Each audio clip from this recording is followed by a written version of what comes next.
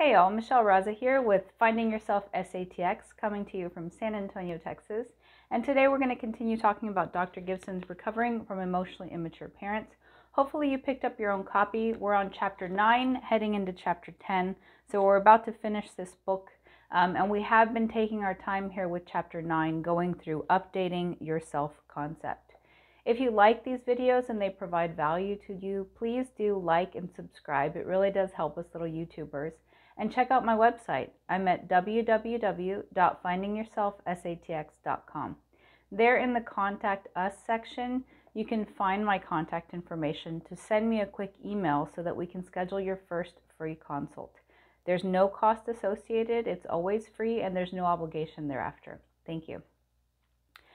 All right, without further ado, I will go into her last of her five tips or steps for updating your self concept. So the first was establish your worth. Second, identify your values and life philosophy. Third, fill in the blanks of your self concept. Four, define your own self characteristics. And five, find role models and mentors. So today we're going to go over number five. Find role models and mentors. Role models and mentors can help you expand your self concept. If you want to develop yourself, find people you admire and learn from observing them. Spend time with people who have qualities you want to cultivate in your own self concept. Think of every relationship as an opportunity to become a better version of yourself and choose companions accordingly. You might be surprised by how many people are willing to be role models or mentors and pass along their wisdom. If you are enthusiastic about becoming more than you are, look for a mentor who you would love to be a part of your journey. For example, take a class with a teacher you like or contact interesting people and local news stories who have inspired you. Figure out what you would like to learn from them so that your requests can be specific. Call or write those you admire and ask whether they would be willing to answer three specific questions about how you could develop more in their areas of strength. If that goes well, you can see whether they could be willing to give guidance and encouragement again sometime when you need it. If you are respectful, specific, and time limited in your approach, many people will be receptive. Now, I would take the um, the example of when I reached out to, doc, to Dr. Gibson to be one of these. Uh, you think, you know, these people are published authors, they're experts in their field, they're doctors, so they're not going to have time to respond to me. But she did. She had time, and I just let her know that I really admired her work and that I had this little YouTube channel that talked mostly about her works. Um, and she was very receptive.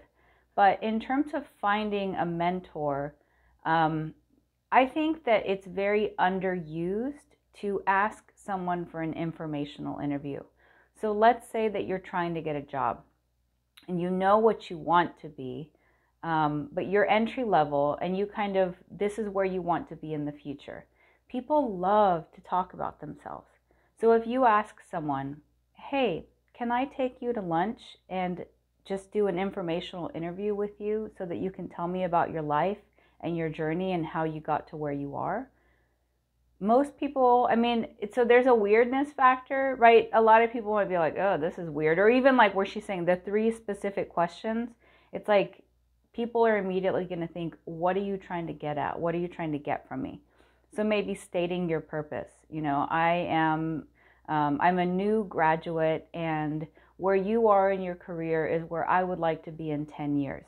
So would it be okay if I took you to lunch and we had an informational interview and you could help me um, un- just learn about your career journey so that I can better map my future?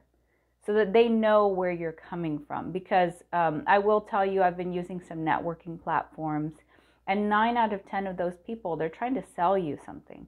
And so you're like, hey, how's it going? Great, how's it going? And it doesn't matter if you put on your profile, like, I'm not buying, I'm not selling, I'm not interested in any pyramid schemes or e commerce, right? It doesn't matter. They're still going to try to sell you. So you kind of start the conversation a little wary because you're like, what do they want? And so if you're cold calling an expert in any field and you're asking them for an informational interview, or even if you're asking for those three questions that Dr. Gibson is talking about, they're going to be a little off put because they don't know where you're coming from. Now, if this is a friend of a friend or a friend of your parents or something like that where you already have an in, it's a whole different story. But you still, people love to talk about themselves.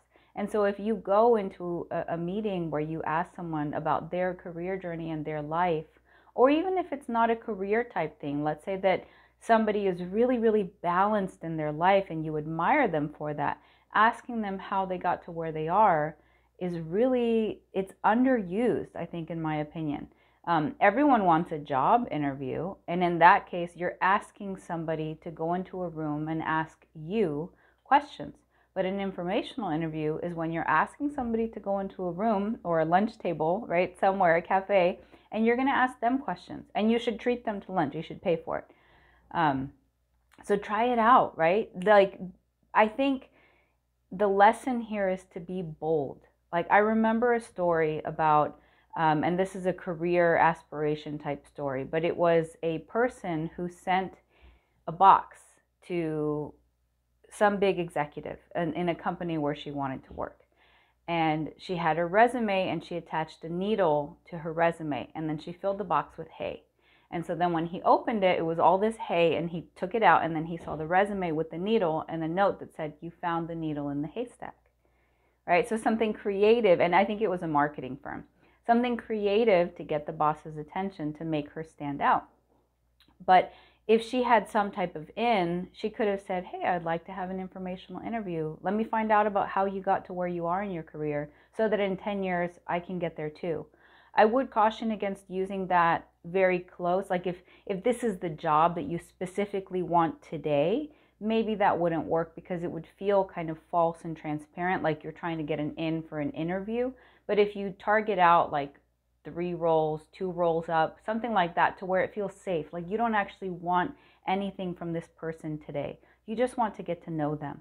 And that is really your in for mentors, modeling, growth, personal development, all that stuff.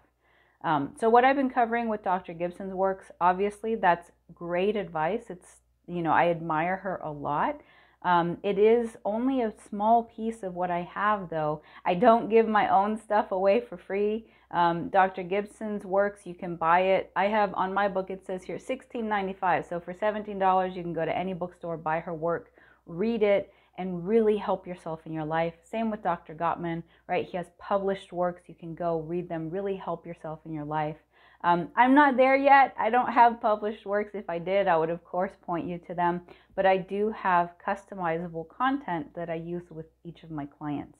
So if you're interested in more of this advice tailored to you, um, specific to you, your goals, and helping you get there, reach out to me. I'm at www.findingyourselfsatx.com. Take care, y'all. We'll talk more on Thursday. Bye bye.